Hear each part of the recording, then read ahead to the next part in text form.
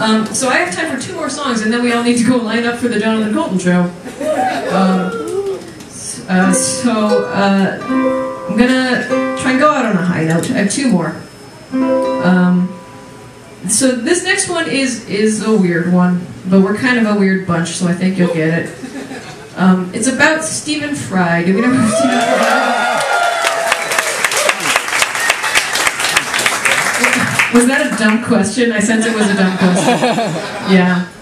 Um, but I think that Stephen Fry is the cat's pajamas. I just think he's the best.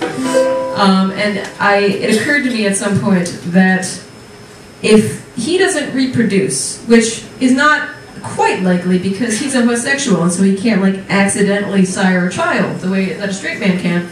Um, and it triggered this reverse Darwin Awards thing in my head, where like if there's no Frylings, whatever the baby name for Fry is, Fry Frylets, right? Frylets. Um, small fries. nice. So if there are no small fries, then we're not going to have any fry in the gene pool, like uh, you know, for the next generations. And I apparently spend a lot of my songs thinking about future generations. That just occurred to me. Um, but like that's bad, right? Stephen Fry is pretty cool, and Sarah Palin has like eight children or something. So we got to step it up. and so I, I, I saw a, a, a need, and I, I am qualified to help. So this song is called An Open Letter to Stephen Fry, and it is me offering myself up to a cause. um, it goes like this.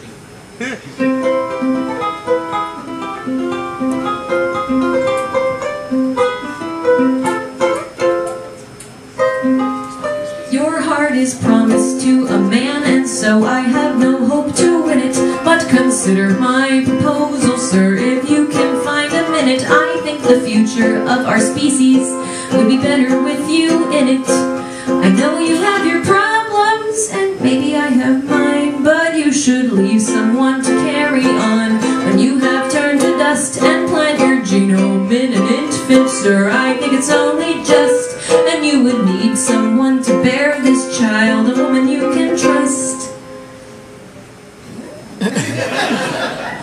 put my body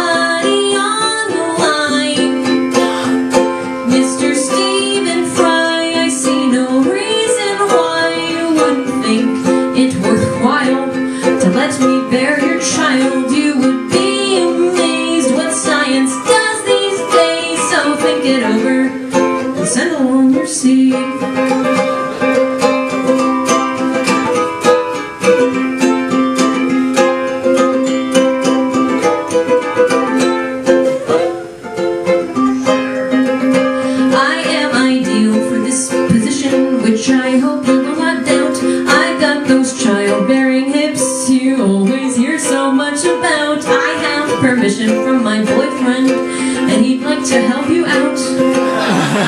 right? Where is he? Sure. Yeah. I know it isn't much, but it's what I have to give. I sometimes drink, but I don't smoke, and I eat all my leafy greens.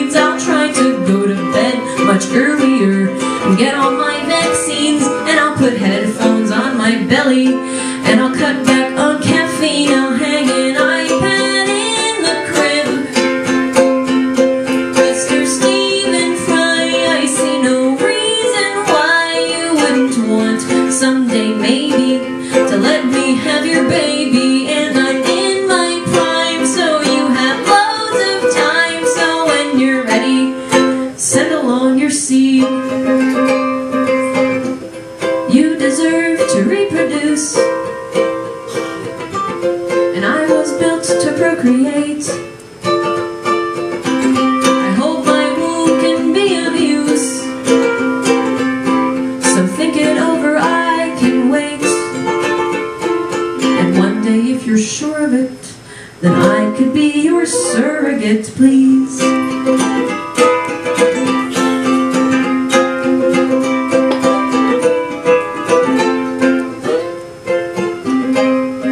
Oh, Stephen Fry, I hope you'll tell me why you would think it's bewildering to let me bear your children. I adore you, dear. I come before you here to be the only woman you will ever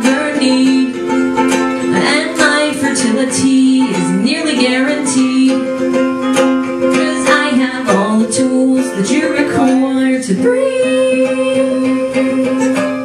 So send along your seat.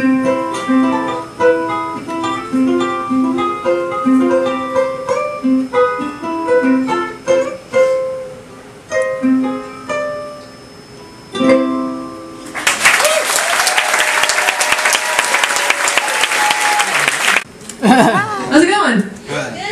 Pretty good. I gotta say, I've got a microphone, so I'm happy. I didn't know there was a person up there, or I would have totally played that up in the Lincoln song. I would have cast you as Lincoln. So. Uh, so I, I, we're running a little short on time, so I can't fully elaborate on the story that goes with that song. But I met Stephen Fry once, and he said no, but that's a possibility still. Find me at the cocktail thing, and I'll tell you the whole thing if you want to hear it.